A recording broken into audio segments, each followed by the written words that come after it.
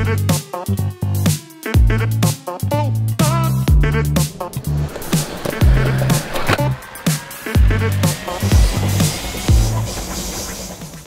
samenwerking tussen studenten van de HAN, de ROC en de RU is nodig om bij te kunnen dragen aan circulaire vraagstukken nu en in de toekomst. Studenten helpen ondernemers bij vraagstukken. Ondernemers bieden studenten daardoor kansen en krijgen de mogelijkheid om talentvolle studenten te scouten.